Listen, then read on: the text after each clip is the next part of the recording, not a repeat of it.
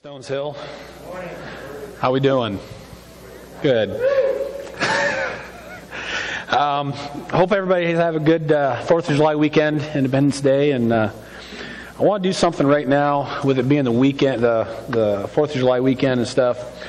Um, those that have have served or are currently serving in the military, would you please stand up? There's one that's standing up that, uh, that should that is not standing up that should be. Faith. everybody, every, stay standing up, please.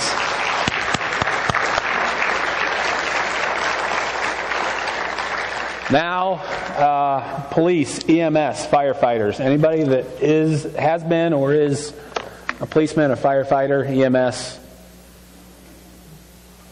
I want to thank you guys for your service, for your time that uh, you uh, spend away from your family and each day and years possibly. So, again, thank you.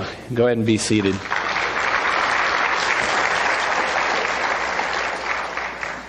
Also, uh, a group that doesn't get recognized very often. Um, those spouses or family members of the ones that have served or are serving, could you please stand up?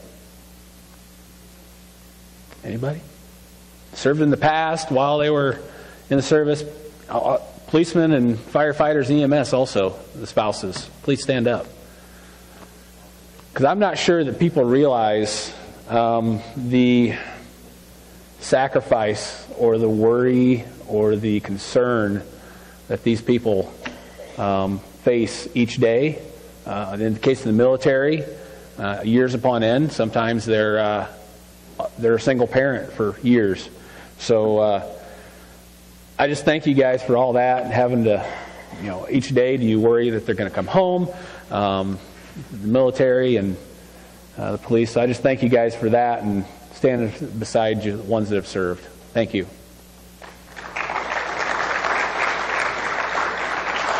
So, with, with this being, again, Independence Day, I, I went back and I did some research on some early Independence Day celebrations.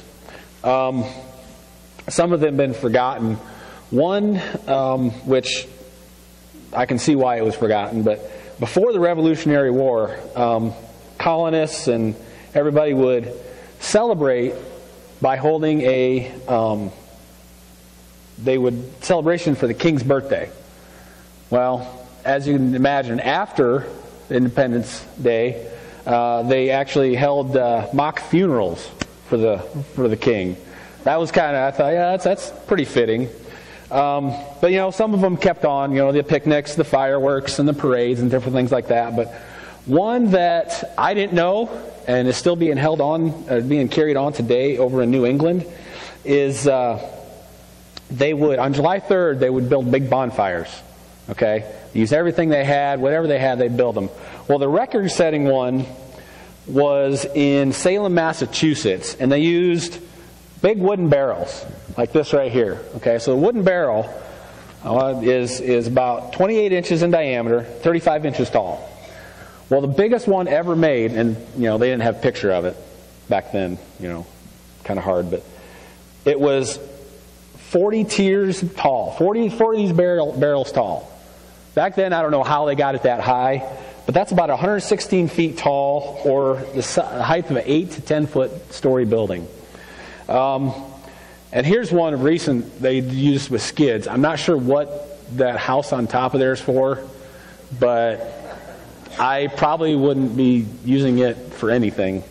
Um, but either either I'm going to have to start the tradition around here, or I'm going to have to go out and out east and see it because that's something I wouldn't mind mind watching. So, um, so as I was praying uh, in the coming week, in the last few weeks of what I was going to uh, um, speak on, I had thought of the theme of uh, independence.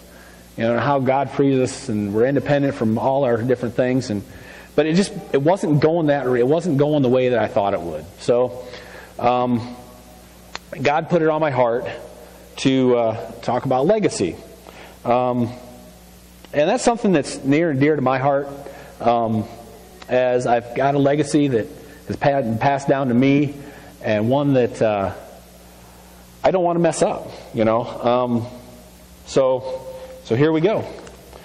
When you think about legacies, what your first thought? You think, you know, you think big, right? What are some big legacies that we've had? Well, we've got the civil rights movement. You got um, Martin Luther King Jr., who had a dream, and Rosa Parks. She just wanted to ride on a bus, right?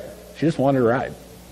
Um, how about presidents that have uh, carried had carried, brought this country through some uh, dark times, like Abraham Lincoln uh, during the Civil War time, Franklin Roosevelt um, carried us through the Great Depression, and then of course Ronald Reagan, who helped end the Cold War. Um, then you've got the music side of it. Where would music be without Elvis, the king of rock and roll? Um, or Johnny Cash, the man in black. I mean, I don't think you can talk to anybody that uh, doesn't respect these three. Aretha Franklin, who's a queen of soul. Um, how about the ones that changed sports history? Got Muhammad Ali, right? And they call him the Louisville Lip, the champ, the greatest. You know, the saying, float like a butterfly, sting like a bee. Uh, then you got Babe Ruth, the Sultan of SWAT, a great Bambino, and of course Dale Earnhardt, the great intimidator. Got Dale Earnhardt fan over here. So, but take these three here. You can, of all the recent sports and athletes and stuff, it always goes back to these, these, you know, these three. You talk about boxing. You can talk about all these other people, but it always goes back to Muhammad Ali. Um, baseball. All these people that broke these home run records and stuff still goes back to Babe Ruth. And Dale Earnhardt, he's one of a, he was one of a kind, and so uh, how about some uh, legacies that uh, history seemed evil or uh, negative? Got Joseph Stalin, uh, the great architect of communism. Adolf Hitler, um, you know, the chancellor of the Third Reich. And then, of course, you've got from recent history Osama bin Laden. So, um, when you look at the sheer size and scope of legacies, it can seem overwhelming. All those that we, I put up there seem overwhelming. Like, how? How can I have that size, that kind of impact? How am, am I capable of that kind of legacy? Um, think about it, though all these individuals that I mentioned didn't start out with intent of, I want to leave a legacy, okay? They just started out doing what they like to do, doing what they love to do. Muhammad Ali, or excuse me, Joseph, Stalin, I'm sorry, I'm way off here. Martin Luther King, Rosa Parks, they just wanted to be treated the same, right? Um, Muhammad Ali, he just wanted to box. All right, he wanted to be the he wanted to be the greatest. He even said it. Um, Earnhardt, he just wanted to race and win. And he did lots of things to do that. You know, some things that weren't always right. But uh, Elvis, Johnny Cash, Aretha Franklin, they just wanted to sing. They just wanted to be the best they could be. They, that's what they'd love. Uh, they started out with that, doing what they love, what they desire. Now, not all of us have been called to leave that size of legacy in history. Um, but most of us have been called to leave a much more important legacy and lasting legacy. Again, don't confuse size or prominence for the importance of legacy. Um, you know, here's some that you probably, you all probably don't recognize. Um, legacies. The legacy of Pat and Faye George, Pete and Mary Meal, Cindy Myers, or Jim and Carrie Meal. Those are legacies that are important to me. And I'm sure all of you have ones that are, that nobody will ever know their names other than you. Um, they, these, these legacies had a direct and very important impact on me. Um, as, as my legacy unfolds, as my story unfolds here in a little bit, you'll understand why these legacies had more impact on me than all the celebrities and all athletes in the world. Um, so let's look at what a legacy is. So, of course, I went to the, the dictionary, the Webster Dictionary, and found these, and um, these are the three that came out. Uh, gift is, or a, a legacy is a gift by will, especially of money or other personal property, something transmitted by or received from an ancestor or predecessor or from the past relating to, associated with, and carried over from an earlier time, technology, business, etc. Wow, lots of big words and ones that I want to break down a little bit. So, if you, the one that I want to look at, and the ones I would replace, um, the second one would probably be the closest one that I would have. Uh, something transmitted by or received from an ancestor or predecessor from the past. Um, but I would replace something with life lessons, and life lessons, teachings, morals, and instructions. And I would replace transmitted, which to me that just seems like a clinical and very sterile and just not a very intimate uh, word for what we're dealing with. Uh, with I would replace that with passed on, and the last one I would also change ancestor to family member, and I would add mentor to it, and we'll get into that later. Um, so it would look like this here. It would um, it would be oops, life lessons, teachings, morals, instructions passed on by or received from an ancestor, from a family member, or mentor, or predecessor, or from the past. So, um, so right now I'm going to go ahead and tell a little bit of my story. Um, and kind of understand, hopefully, where how I took some legacies, some ideas, and some things from my past, combine them together to create what, what I want my family to, to see. Um, but before I do that, I have to have a disclaimer that uh, as I tell my story, the uh, I'm going to use I had several mothers in my life, and when I say mom or stepmom um, that's in, in, in, clarification only, um, not necessarily importance. So, as you see that, you'll, you'll understand. So, in 1975, I was born to James and Cindy Meal, a long time ago. Uh, about a year, year and a half later, my brother George was born. And unfortunately, before too long, my dad and mom were divorced. Um, years later, I asked my dad, why? Why did you guys get divorced? And he he told me um, he was hesitant, and uh, but he he put it in a way that my uh, teenage self could hand would understand it, and he said that uh, they were divorced because my mom was seeing other people while he was supporting the family. Um, so as time went on, my dad uh, my dad got remarried to my stepmom Carrie um, and that's when the real trouble began when my sister Mary was born, not long after. And then my, my dad and my stepmom raised me and my brother. Uh, you know what? Right now, I'm going to share a couple pictures of my, my brother and my brothers and sisters. Sister. So, first one is my brother George. Yeah, try eating at a family table with that. Okay, and try getting food from him. Uh, then my sister, what sister doesn't think that she's a princess, right? All right. That's just, that's who she was. Um, and then my other brother, Barry, who was uh, my, mom, my mom and stepdad's son, I never know whether to take him serious or just kind of ignore him a little bit. Um, and of course, they always remind me that I'm the oldest. So, so uh, just a little bit of humor there, and but uh, going back to my story, uh, my, my, dad's my dad's family and my mom's family were pretty much two sides of the same coin. They both valued time. They both loved uh, valued time, hard work, and love. But they had different ways of showing it and different ways of um, expounding on it, I guess. Um, because of this, I had lots of wide ranges of experiences. So um, each side of the family had different ways to celebrate. My dad's side, when the family got together, you know, he had the family reunions and everything. I think, you know, that this side I would consider the Christian side, the safe side. Um, but whenever we got together, you know, my, my grandma, I remember she was the first one, my grandma Mary, that uh, taught me Jesus loves me and the man who built his house upon a rock. Um, and when we get together for family reunions, there wouldn't be anything crazy. Probably the craziest thing would be who can swing the highest on the swing in my deck, grandpa's backyard without breaking it. Okay, that was a key. There was always one, it was usually broken. Or how many oatmeal no bake cookies we could eat. Um, now, on my on my mom's side, that was a little bit different. Um, you know, we'd have visitations with them every other weekend with my mom, and we'd always have gather, family gatherings and stuff, and it usually involved some sort of motorized vehicle.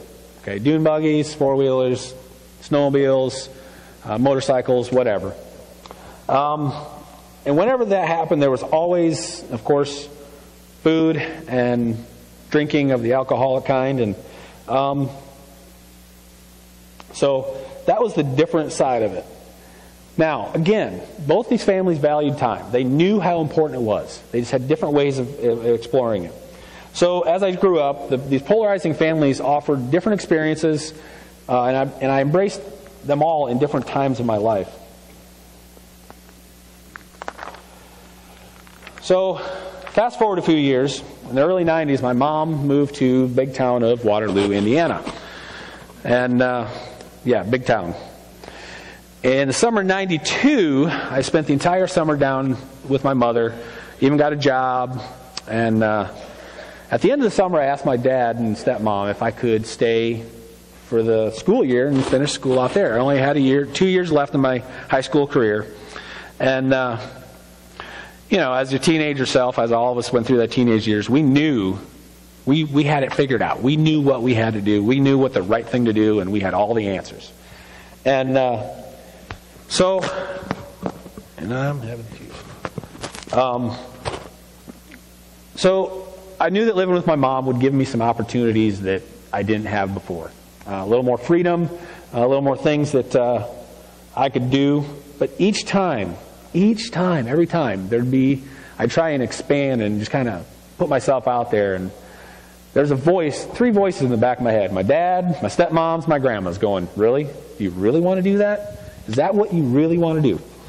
Um, now, I, I, do have to have one uh, have a disclaimer here. There was some underlying uh, reason why I wanted to stay in Indiana for the for the re- remainder, and she's back there, and it's her fault that I'm here.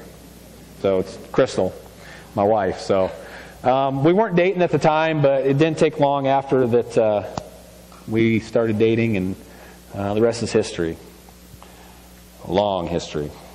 Anyway, um, as years went on, I graduated from high school from DeKalb, and uh, on July 16th, 1994, we got married. It's 25 years ago. So here in another, what, nine days? No. 11 days. 25 years. So, as you can see, um, one of us aged much better than the other, and it was not me. So, um, so um, about a year and a half later, I felt that uh, we only been we hadn't been married that long, and I felt that we were struggling. Crystal and I were struggling. Now, when I tell this part of the story, she Crystal goes, "I don't remember it that way." Well, I did. I felt it that way. I felt like we were we were on the verge. We were going to be getting a divorce. I thought, no, this is this isn't right. Um, so I remember sitting in McDonald's parking lot and having this discussion with Crystal. I thought it was done. Okay? And as time would have it, and God would have it, uh, Crystal, we, we had been having some troubles conceiving, and God said, All right, it's time. You're ready. Um, and we, you know, she told me that uh, we were getting, she was pregnant, and that was it. Now, at this point, I knew deep in my heart, with all the morals and the lessons and everything that my dad and uh, grandparents and everybody taught me, I knew that it was not the right thing to do to leave. So I stayed. At the time, I stayed for the kid, who wasn't even born yet. Um, I didn't want to be that guy that said, "Yeah, I'm done. Just just go away." Um, so I didn't know it at the time, but that was the beginning of legacy. That's when I stood up and I said, drew the line in the sand and said, This is what I'm going to do. This is how we're going to do it. Um, I'm not going to live that way. I'm not going to leave my kid, my wife. Um, so, not long after, it was May of 96, rededicated my life to Christ, uh, along with Crystal at the same time. And uh, 1996, October of 96, Acacia was born, my oldest. And as young parents, of course, we made mistakes, uh, but we fought through them. There was some financial issues and some other things like that. Um, between the years of 97 and 2000, Crystal and I attempted, we, try, we had trouble conceiving again. Um, but to expand our family, we'd always wanted four kids. We knew that. We knew we wanted four kids. We, and we wanted, we even talked about it, three biological and one adopted. Well, that was our plan. Uh, that was not God's plan. Um, and we attempted, and you know, through that time, but but in October of 2000, October 24th, 2000, my world changed forever. Um, I remember Crystal coming and talking to me at work. Um, I got a page over to the PA, and uh, my boss told me, "Hey, your wife's up front, and he'd talk to you." I remember going out in the front front walkway, and she told me that at 9:38, my mom was killed in a car accident. Um, this wasn't the first time that I'd lost somebody, but definitely the hardest. Um, there's not a day that goes by that you know, I don't see something or, or uh, reminds me of her. Um, one thing that helped me through that, though, in, in the, in the months leading up to that time, six months, nine months, my mother had been going through a rough patch. Um, I had visited her many times in the ER because she thought that the uh, the world would be better without her. Um, but during this time, I was able to speak to her, talk to her about Christ, talk to her about the fact that there's more to it than what she's got. Um, and during that time, she accepted Christ into her life. She, we went to church for her. Uh, she even came to the same church, and it, it was a good time. Um, even when I was living with her and my stepdad, we'd never been that close. Um, one thing that my mom had was a hard time showing us, my brother and I, how much she loved us. She really struggled with that. But during this time, I learned that and I understood where, where she was coming from. So as some time passed, uh, Crystal and I decided, all right, you know what, we're having trouble conceiving. We're going to go ahead and start the adoption process because um, that's what we'd always talked about it, and this is the step we're going to take. So, um, we stepped out in faith when we started. We literally started with tax money one year for the for the application process. Um, we stepped out on faith. Uh, we knew that this was something that Lord the Lord wanted us. Everything was paid with yard sales, gifts, tax returns. We had to take a loan out at one time, but you know what? Sabby came home. Now, when we picked up Sabby, Sabby on our little Haitian sensation, it was all worth it. Um, yeah, if anybody knows her, she's very. Um, when she's in the room, you know she's in the room. That's just that's just the best way to put it. Um, so, one thing that during this time, and we never understood until after after this event, but several years later, I believe it was in 2008, I think. We brought Sabby home in 2005. In 2008, Haiti had a major earthquake. Um, and by the counts of the Haitian government, there was 300,000 people killed. And not long after that, there was a, a hurricane that hit along with the, the previous earthquake. So uh, that number I couldn't find.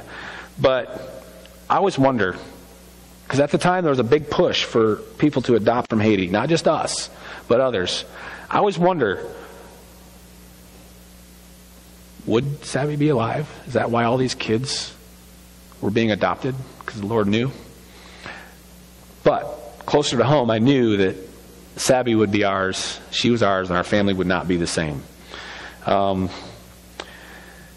but unfortunately, before we could bring Saviana home, um, we had another, Chris and I had another tragedy that we had to fight through um, another family member that we lost. And this one,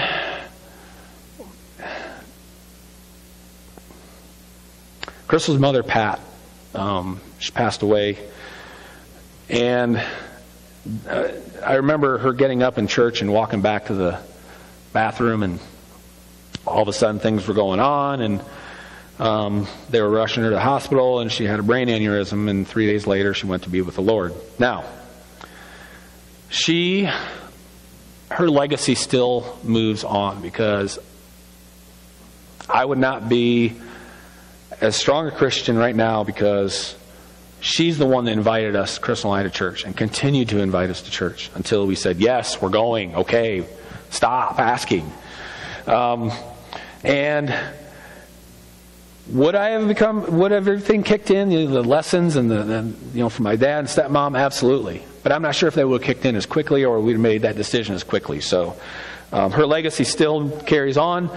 And uh, so so in 2007, almost two years after we brought Savvy home, Crystal comes out on the on the porch as I'm cooking the burger, cooking burgers for dinner. That's how I remember things with food.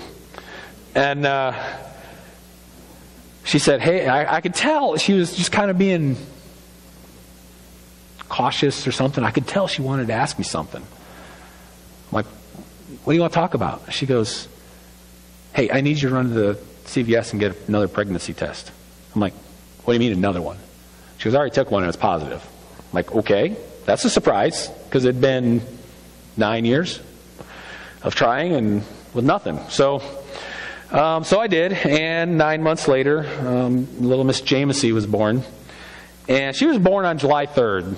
If anybody knows her, um, you know that she is a little firecracker. So the timing is perfect for her. Um, she definitely keeps you on your toes. Um, similar fashion, about two years later, so I was at work though this time, and Crystal calls me, which she hardly ever calls me. Called me even back then. She texted, you know, on the flip phone where you gotta, you know, you gotta hit the button three times and everything like that. But um, so she called me, and I'm like, well, that's weird. So I'm in the middle of a plant and it's loud. So I told her, hey, let me get back my desk and I'll call you. And she told me she need to pick me up. I need to pick up another pregnancy test, and Nine months later, that's when I got rid of the mattress, by the way. the mattress at home. I said, that, one's going away. Literally, that day, I went home and got a new mattress. Anyway, because that was four and we were done. Um, the Lord wanted four, that's what we got. So, um, so as our families got older, um, there were decisions we had to make. Things that went, that our parents, we didn't always agree with our parents, our parents didn't always agree with us, but um, we had to decide what was right for our family. The family that we were raising and um, the legacy that we wanted. Now, there are times we had differing opinions of parents, grandparents. Speaking of which, um, most of you that know me know I don't usually have a problem speaking my mind. Um, I have gotten better over the years, believe it or not. I'm a little more uh, political about it sometimes, but not political. What's the word I'm looking for? A little bit softer, I guess. But my mom and my grandma on my mom's side had no problem speaking their mind. And sometimes that worked, that was some consternation, you know, some issues and stuff that Crystal and I fought through. And I spoke up a few times to my grandma, and it was one of the most uncomfortable things I've ever had to do. Um, early on, one of the things that we wanted to do was we wanted Crystal to stay home with our kids. And the Lord blessed us. We had to struggle. We did without things. Um, and there are times we had to say no to things. Uh, we never always, we not always had the nicest things. We never hardly, we never had a new car. Um, we've had during during the adoption process, Chris, we got, I think it was four. We were given four cars. As one died, another one rolled into the driveway. It was crazy. So we didn't have to have a car payment during that time, which helped quite a bit. But uh, so as I was growing up, my adult life, and, and now, there were, were many examples of legacies that I could follow. Not all of them good, not all of them bad. If you would have asked my teenage self if I would have changed things, I would have absolutely, in a heartbeat, said yes. I don't like this, I don't like this, I want to do this, I want to do that. Um, but now, looking back, now don't get me wrong, there are things that I wish did not happen death, um, problems conceiving, financial issues. But I know that if any one thing would have changed, I would not have the blessings, the family, the kids that I would have right now. Knowing that, I wouldn't change anything. Um, at this time, I'd like to invite somebody out on the stage who has, uh, in, in proud to know, called brother, someone that uh, realized he needed to change his legacy. He needed to um, make a change and make a decision. So, Wayne Chrisleb, would you come out, please?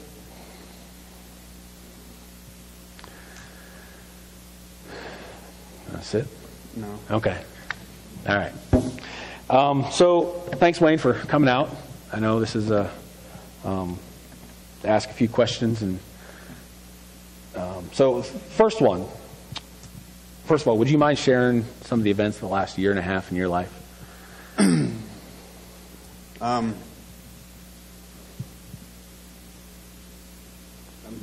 a year ago in November, um, well, to explain a year, the last year and a half, I kind of go got to go Yep. back.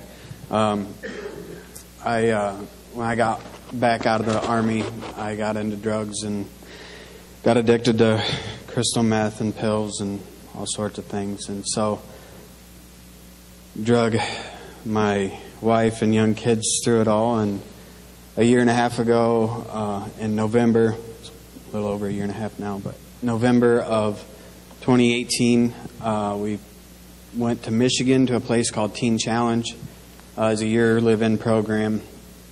Um, and graduated in November. Um, that was for me tough. It was a lot easier for Lisa and the kids because they knew where I was. They knew um, it was safe. Um, a little bit ago, you said uh, drawing a line in the sand. I kind of got to that point where um, I knew I couldn't keep going and doing the things I was doing. I didn't want one, I didn't want my son to grow up and be anything remotely like I had become. And two, I didn't want my daughters growing up and marrying somebody like somebody like me. So at at that point, you know, sitting there and reflecting and a leg- legacy became a big deal to me. I didn't have and a father figure. I didn't have that good legacy to pass on to them. But uh, Grandpa's not here this morning, but I do have a grandpa that Yep. I've got big shoes to fill in the future to carry on his legacy. Um, but you know, it, changing my legacy is it's hard some days, but today is easier than two, three years ago of knowing where we're at and where we're going, uh, sending our kids down the right, right path. Yeah. So that rolls into the, the next question. How does your how different does your legacy look today than it did a year and a half ago?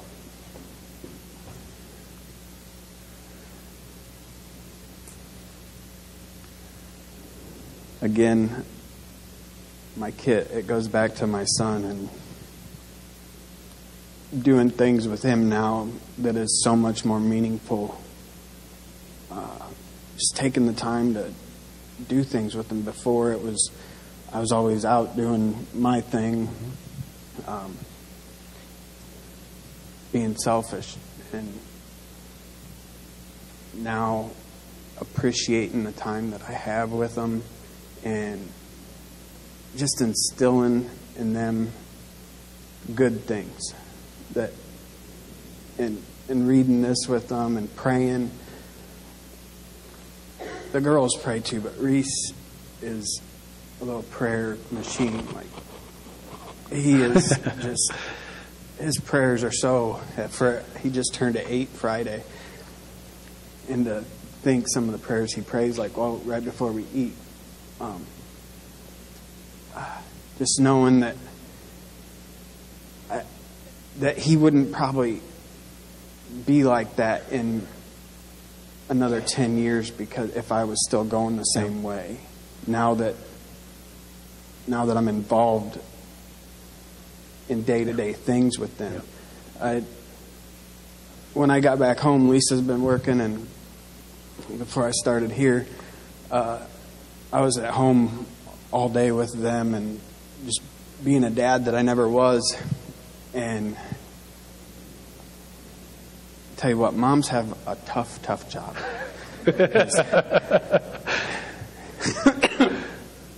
So you're saying we should appreciate everything they do? Okay. yes, okay. yes. It's okay. so.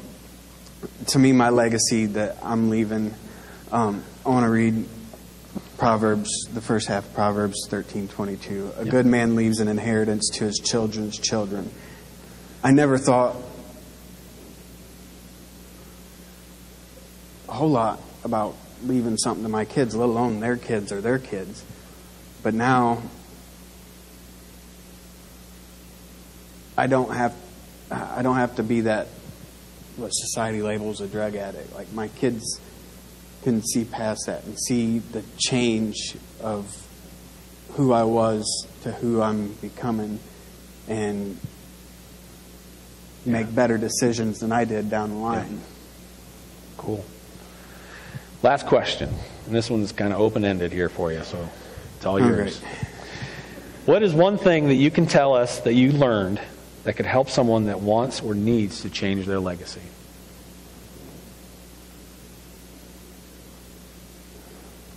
First and foremost, trust God. Um, trust His process. You know, it's not a snap of a finger. I mean, He can He can make it that way, but usually when it's that way, you're not.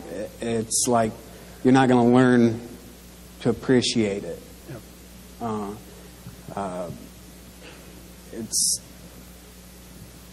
you go back to uh, the potter and the pottery wheel. There's a whole bunch of pushing and Yep. tearing, and sometimes he's got to tear it all the way down to remake it. Yep. And that's that's how my process has been. It wasn't easy. Lisa can tell you that for any of us. Um, but again, this side of things is so much easier than the years before for them and and for me. Um, yeah, just trust God and trust His process and submit to His will for your life. Um, and that's that's tough to, to surrender and hit your knees and Yeah. and uh, especially when when you're talking like drugs and stuff like that Yeah. because it'll get a hold of you. And, but um, any any form of addiction, it don't even have to be drugs. Any form of addiction is a tough Yep. thing to submit to God. That's um, submitting to God, but um, also, if you need help, submitting to others, telling them, hey, Yeah, this is the issue. yeah, yeah. So, so And that that was a tough thing for me too. I had a bunch of guys sitting here reaching out to me, and I kept pushing away and pushing away. I didn't think anybody could understand uh, what I was going through, and you know, come find out, you know, I had a mentor this whole time. He's a wrestling coach, and kept pushing him away, and that's that was tough. But at the end of the day, he's still there, and yep. so yeah, just reach out to somebody, and Awesome. Anything else? you got anything else? No, I'm good. I'm good. Thanks Good. for hey, listening. thanks for sharing, buddy. Yeah.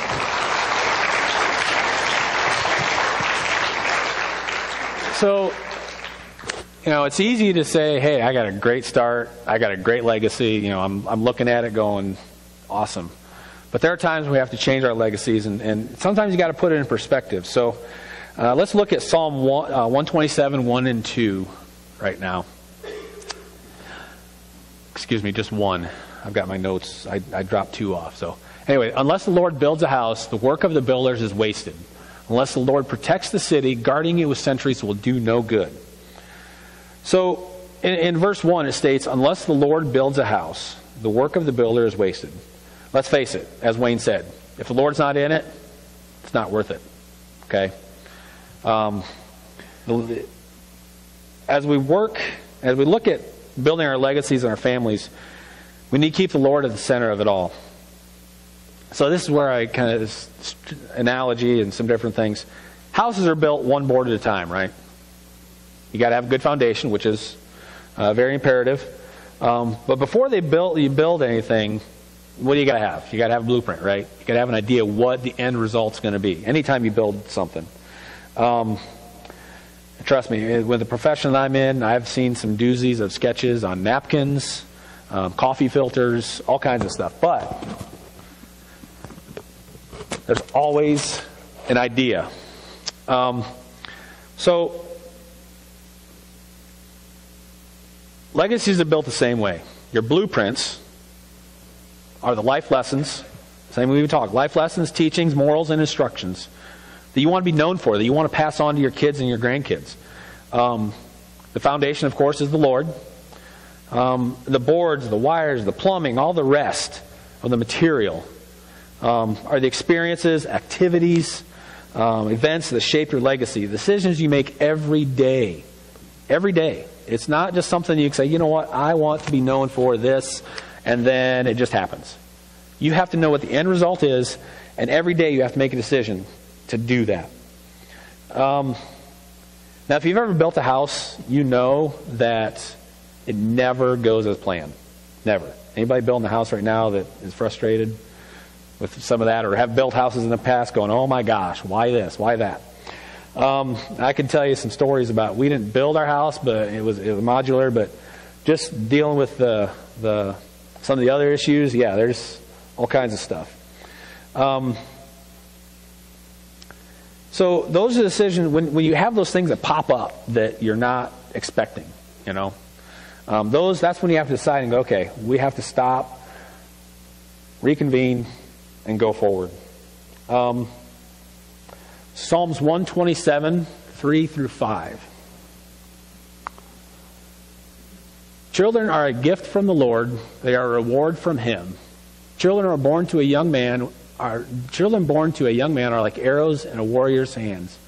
How joyful is a man whose quiver is full of them. He will not be put to shame when he confronts his accusers at the city gates. So let's look at a gift. A gift is a thing given willingly to someone without payment. A reward is a thing given to, in recognition to one's service, effort, or achievement. So, looking at this verse and what, what those two mean is our children are given to us willingly, no payment is expected. Lord gives them to us, and He goes, You know what? You deserve it. I struggle with that. Do we really deserve those blessings? Uh, do we really, are we really um, ready when the kid comes along? No, we have no idea when that first child comes along. By the third or fourth, you know, you've seen those pictures where they're just kind of, you know, all over the place and nothing really matters. But, uh, but a reward is given for our service. What did we do to deserve it? What did we do to deserve that? Um, so, well, children are like arrows. Um, joyful is the man whose quiver is full of them. Let's see here. Yep.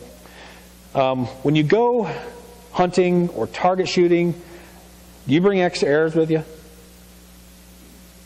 I personally don't bow or crossbow hunt, but I do um, shotgun, muzzle loader.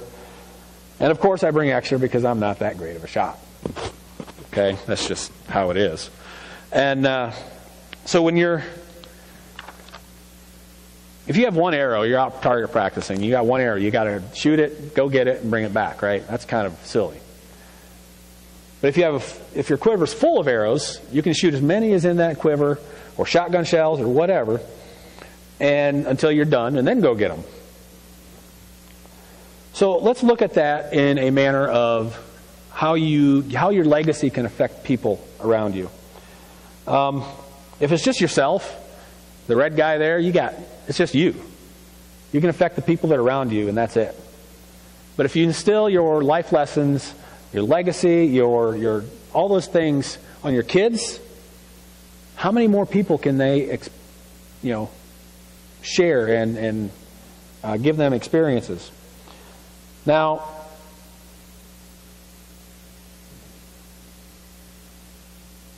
each of our kids have different talents too. So that's a whole nother realm of area that me personally, I, I am not a artist. I'm not a real good sports person, but I've got kids that are good at both of those, and they're be able to touch and influence people that I would never be able to. Um,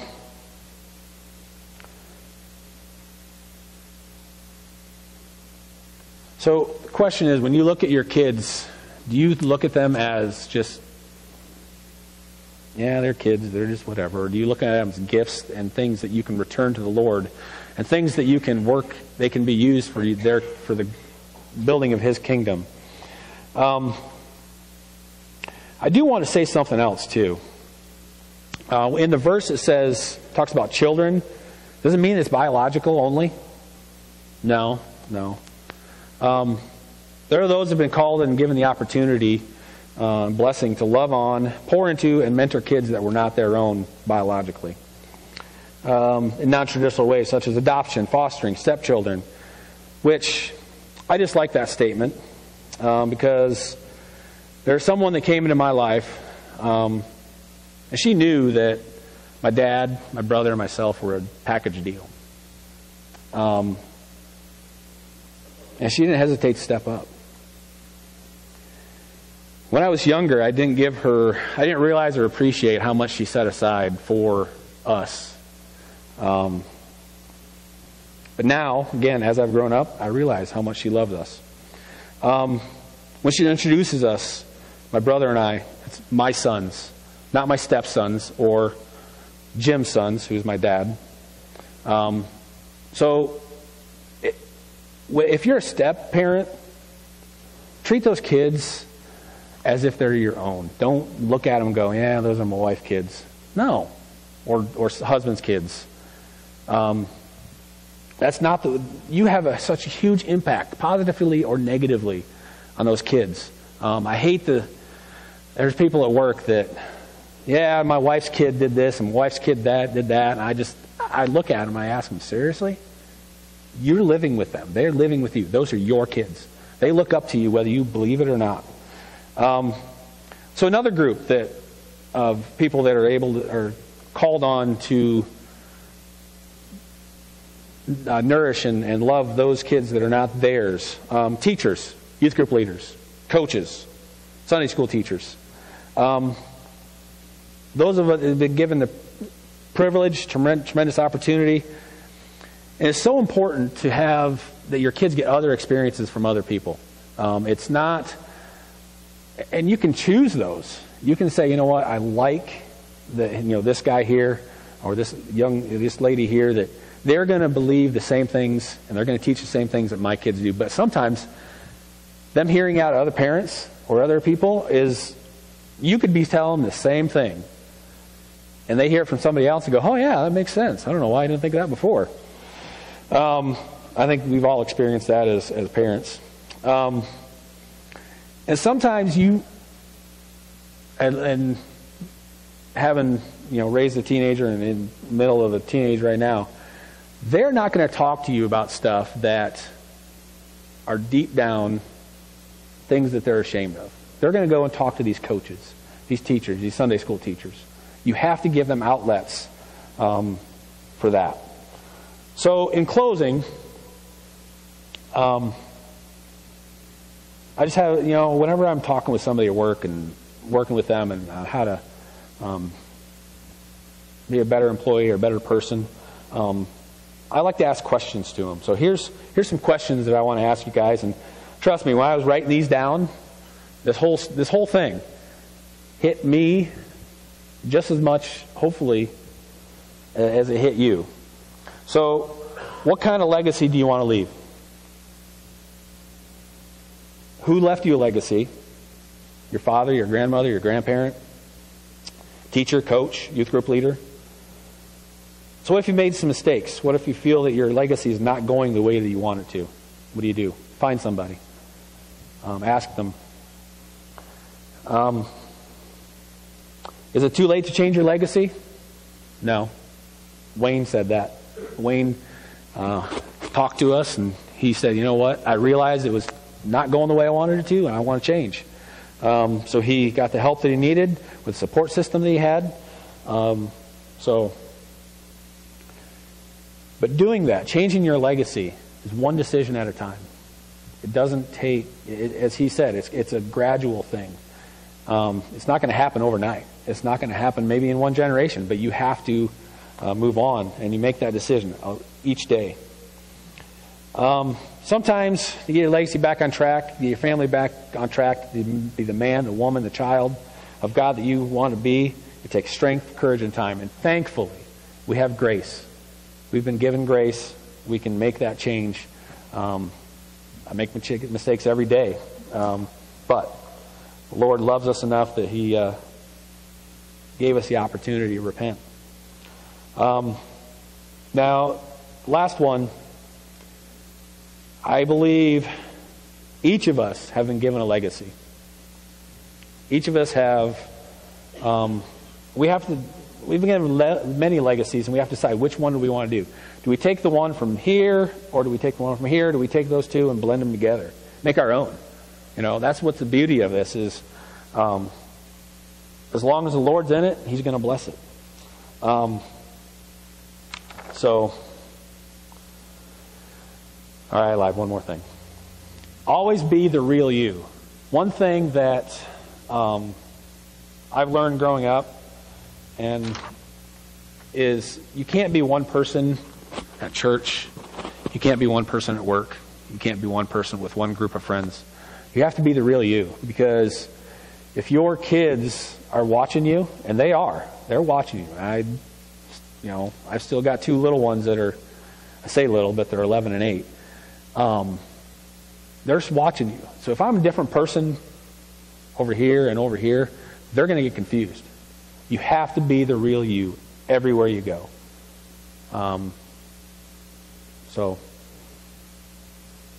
that's it. Thank you for your time. Um, that clock right? Wow, that went longer than I thought it would.